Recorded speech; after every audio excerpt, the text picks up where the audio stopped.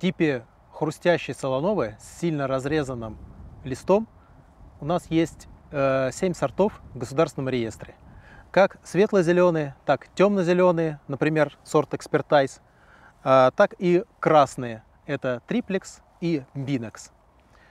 Э, среди красных есть э, сорта с зеленым черешком и красной листовой пластинки.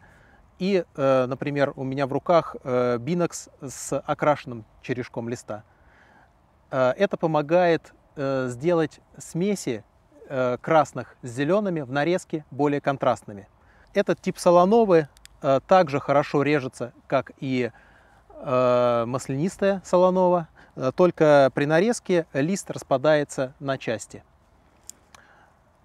Также, в отличие от маслянистого типа, этот тип солоновы, он обладает хрустящим листом.